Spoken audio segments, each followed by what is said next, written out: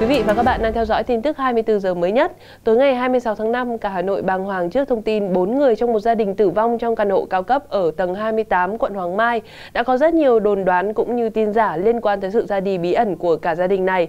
Mới nhất thì tiết lộ từ phía lực lượng chức năng, chưa thấy dấu hiệu tội phạm trong vụ việc này. Tuy nhiên, vụ việc này đã chính thức được phòng cảnh sát hình sự thuộc công an thành phố Hà Nội tiếp nhận hồ sơ từ công an quận Hoàng Mai để điều tra.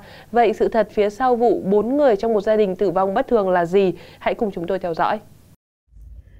Trước đó như đã đưa tin, chiều 26 tháng 5, một cư dân sinh sống tại một tòa chung cư thuộc khu đô thị cao cấp ở phường Mai Động, quận Hoàng Mai phát hiện sự việc bốn người trong một gia đình tử vong nên đã báo tin tới cơ quan công an và chính quyền địa phương. Cụ thể, ông NHH, 43 tuổi, chủ căn hộ tử vong, bà VTL, 43 tuổi, vợ ông H, cùng cháu NVHC, 16 tuổi và một cháu bé chưa rõ danh tính khoảng 5 tuổi ngừng thở trong phòng ngủ.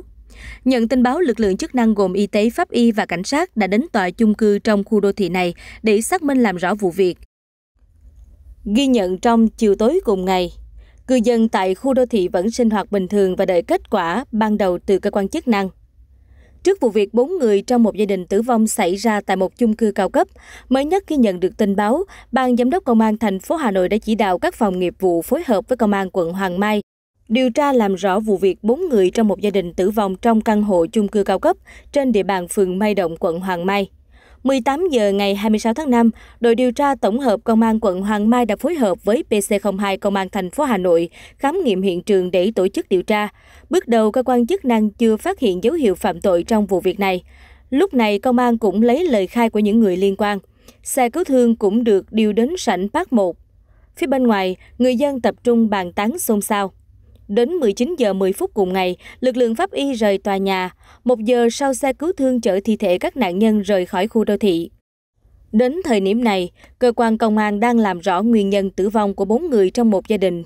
Vị lãnh đạo này cho hay, tôi đã nhận được báo cáo vụ việc và đã chỉ đạo các đơn vị nghiệp vụ điều tra làm rõ. Vụ việc rất thương tâm, nên khi có kết quả chúng tôi mới cung cấp được thông tin cụ thể. Liên quan đến vụ việc, một lãnh đạo Ủy ban nhân dân phường Mai Động cho hay, công an phường Mai Động đã báo cáo sơ bộ về vụ việc bốn người trong một gia đình tử vong nói trên với chính quyền phường. Để tiếp tục làm rõ vụ việc, Công an thành phố Hà Nội đã thụ lý hồ sơ vụ án từ Công an quận Hoàng Mai. Hiện lực lượng công an đang tiếp tục điều tra làm rõ nguyên nhân cũng như danh tính những người tử vong.